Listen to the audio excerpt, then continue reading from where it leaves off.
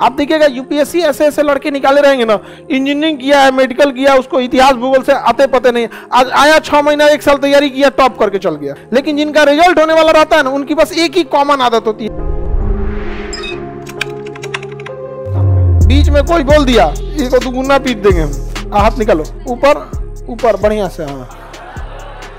धीरे नहीं लगा होगा उसको। धीरे लगाया नहीं, बेचारी का आवाज़ ही नहीं निकल रहा है। धीरे लगाएगी तेज। मारने में हम कभी भेदभाव नहीं करते। नहीं करना भी नहीं चाहिए। शिक्षक का भेदभाव काम नहीं है। बराबर पीटो, एकदम भयानक। एस्पेरो, जॉय। एस्पेरो, जॉय। समझ में आ गया कि नहीं आ गया? हम जिसको पीटते हैं ना, उसको एक बार लाला लाजपत राय की याद दिला देते हैं। उनको तो इतना बेरहमी से मारा गया था कि उनकी जान ही चली गई थी। तो हमारी भी कोशिश रहती कि आप लोग को भी अभी हम बहुत कम कर दिए हैं। नहीं तो पहले हम पीटते थे, ना तो निर्जीव समझ के पीटते थे। हाँ दोनों हाथ से मारते थे। पिटाया कि नहीं तू किसी बच के?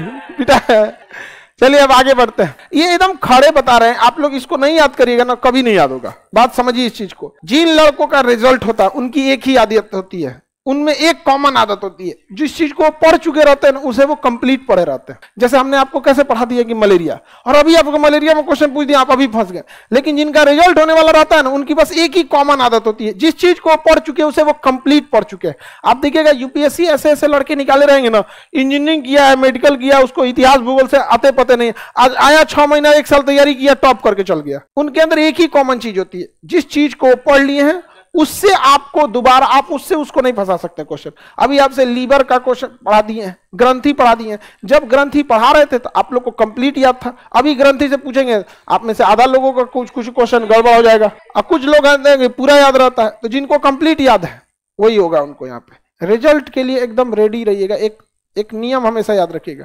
कल एग्ज़ाम ले लें तो आपकी रिज़ल्ट हो जाएगा. तो फिर अगले महीने भी नहीं होगा. सिंपल सी चीज़ अपने आप से पूछेगा अगर कल एग्ज़ाम हो जाए, आप तैयार हैं? अगर नहीं तो फिर दो महीना बाद भी नहीं रहेंगे।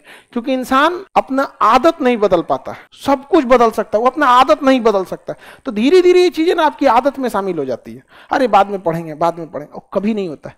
एक चीज़ बस याद रखिए, जो चीज़ हम आपको पढ़ा दिए घर जाइए, नाश्ता वास्ता बाद में बनाइएगा, थोड़ा एक बार रिवाइज कर लीजिए, फिर नाश्ता फिर करते रहिएगा पे। जो चीज़ आप पढ़ लिए हैं, उससे आपको सवाल पूछ के कोई चला जाए, ये गलत बात है। ये एक कॉमन आदत है। आप इस चीज़ को सुधार लीजिए। आपका रिज़ल्ट ना दस दस चीज़ में ना हो जाएगा, तब कहिएगा। कई लड़कों को देखिए ना, एक बार कहेगा, पंद्रह को मेरे रिज़ल्ट हो गया, दस को में रिज़ल्ट हो गया। आदमी कंफ्यूजन रहता है कि जो फॉर्म कब भरा था रही सबका तो जैसे इसको देखो, इसको दस मिनट में गायब हो जाता है।